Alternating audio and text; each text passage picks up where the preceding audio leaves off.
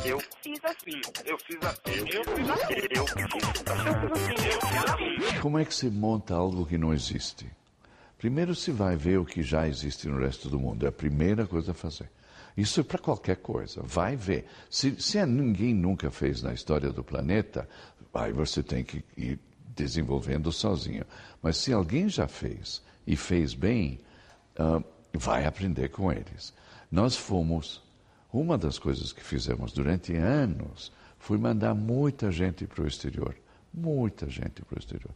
Até inventei um, uma política que eu estava dizendo, os, os, nossos executivos não conhecem o, o planeta. Só não conhecem. Aí de, inventamos um, um plano que todo mundo, acima de um certo nível na empresa, ganhava duas passagens para o exterior para suas férias. Todo mundo.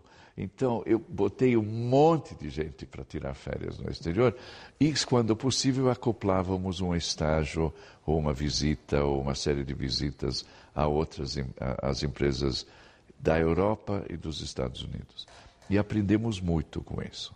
Trouxemos gente para cá, trouxemos gente, convidamos gente para vir ensinar para vir. Vem passar duas semanas, vem passar um mês, vem passar três meses conosco e nos ensine a fazer. Isso, isso é o melhor jeito.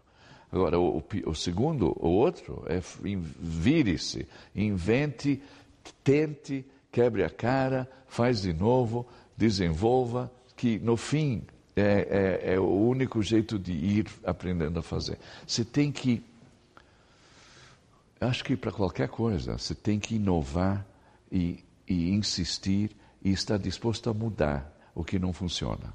E ir aperfeiçoando através do tempo. E aprender sempre. Eu fiz assim. Eu fiz. Eu, eu fiz assim.